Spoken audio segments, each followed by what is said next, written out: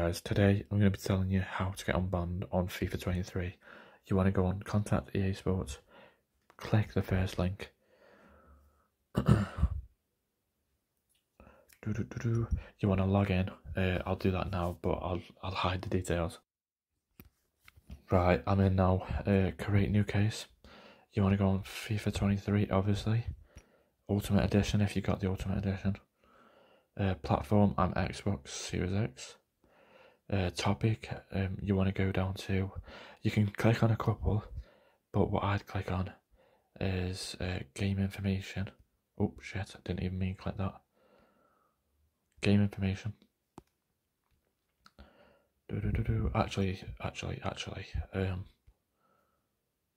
uh, maybe technical support, and then issue bear with guys, what you want to go on is manage my account. And then you want to go down, select issue. You want to click on banned or suspended accounts.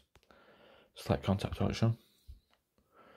Uh, and then what you want to do is you want to go on email, email them a full documented email on why you shouldn't have been banned.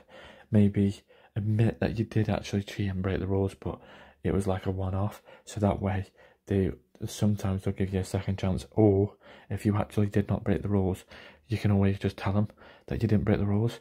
Uh, tell them like what could have caused the reasoning for the ban, like I don't know, selling players for high value. And then what you want to do is is wait a couple of days for them to email back, and then you'll have to email them again. Uh, and keep going back and forth until you sort out um, if you can get unbanned or not. Some people will get unbanned, some people won't. It's one of them. It's like a 50 50 chance.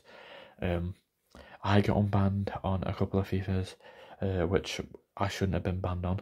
But if you have broke the rules and you know for a fact you have, the chances are you will not get unbanned because EA do detect these things and they'll know for a fact if they've made a mistake or not. But yeah, hopefully this video will help you guys. And yeah, please let me know if it does. Oh, and if you want to buy any coins, uh, go to u7buy.com, type in FTBL, FTBL, at checkout for 5% off your coins as well, guys.